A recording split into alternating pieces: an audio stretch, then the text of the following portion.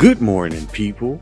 There was a new home base status report that came with today's update. So for today's video, we're going to take a look at it. Uh, there are a couple things I wanted to point out before we get into it. if you own the Panda Team Leader skin, apparently you got a free edit style today.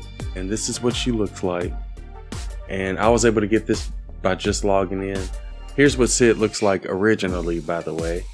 And I know it said Sid, but she's gonna be an edit style of this skin right here, which is Panda Team Leader.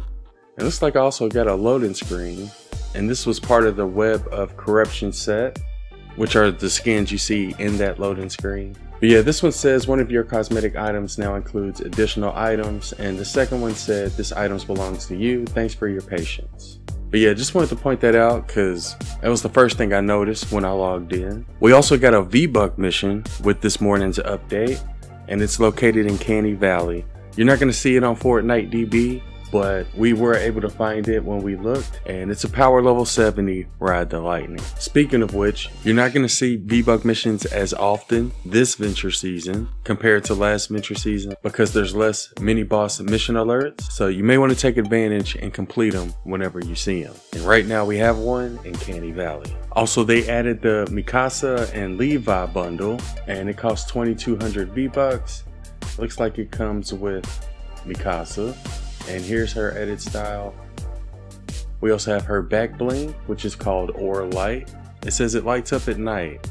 Oh, that actually sounds like it could be useful. Uh, we also have Captain Levi, and he also has an edit style. There it is. We also have the Transformation Serum, back bling. And we also got a loading screen that came with this bundle.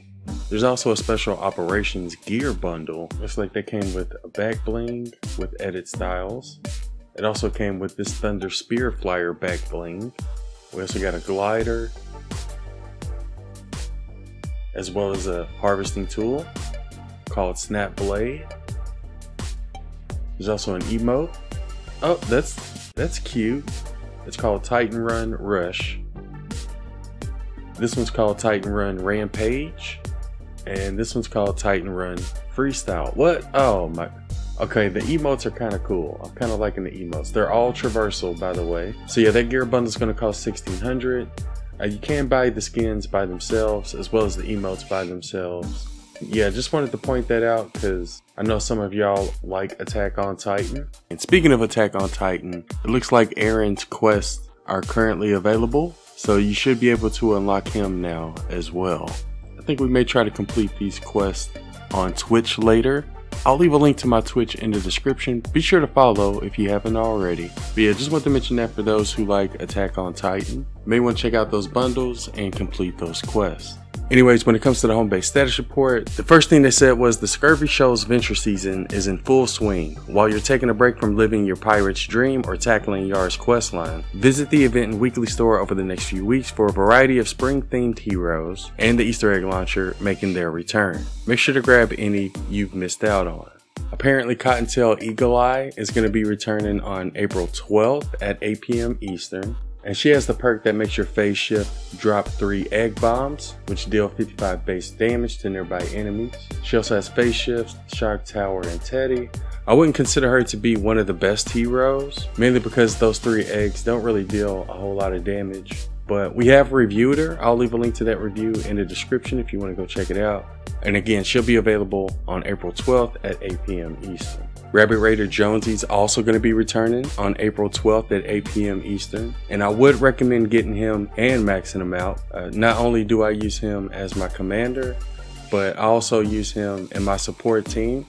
So definitely a hero I would recommend getting and maxing out. I'll leave a link to some Rabbit Raider gameplay in the description if you want to go check it out. And that's pretty much everything we're getting this week. As for next week, on April 19th at 8 p.m. Eastern, Dashing Hare Ken's going to be returning to the event store. And his commander perk allows your Kunai Storm to drop egg bombs, which each deal damage. I would consider him to be more of a fun hero to use, not necessarily one of the best heroes to use. But yeah, we've already reviewed him as well. So I'll leave a link to that review in the description with the others. And we're also getting the Easter egg launcher on April 19th.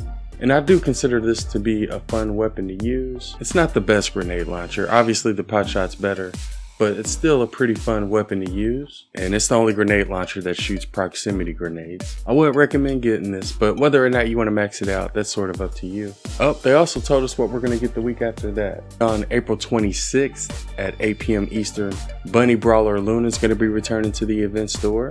And her commander perk makes sure Shockwave drop three egg bombs, which can each deal damage to nearby enemies. So I guess you could use her if you're trying to buff your Shockwave, but not really one of the best heroes in my opinion. She also has Shockwave, Lefty and Righty, Going Commando. She does have some good abilities though, and apparently that's the only thing we're going to get during the week of April the 26th. Anyways, last thing they went over was bug fixes, and it says they fixed an issue with the phase shift forward commander perk that prevented it from applying the 140% movement speed increase when used. They also fixed an issue where players would receive a generic network connection lost message when loading into a save the world mission without it installed. They fixed an issue where the audio wouldn't play during videos before and after the tutorial. They fixed an issue where console players cannot see duplicate perks on defenders. They also fixed the issue where the hoverboard could appear invisible when players mounted it. That actually happened a couple times during our live streams on Twitch. I'm gonna miss that bug. And they also fixed the issue where the Riot Shield Husky would leave the shield in the world after being eliminated. So after today's update, we should no longer see those Riot Shields laying around everywhere. Or at least according to the patch notes, it looks like they fixed it. And that sums up everything that was in the home base status report. So yeah, like I said, we're not gonna get anything new over the next few weeks but I'm still going to be uploading some content for y'all, both Save the World and non-Save the World related.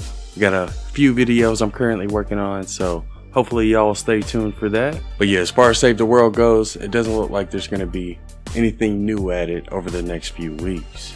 But yeah, that sums up everything that's in the home base status report. Before I go, I did want to give a huge shout out to everybody who's been using creator code A1. Really appreciate your support.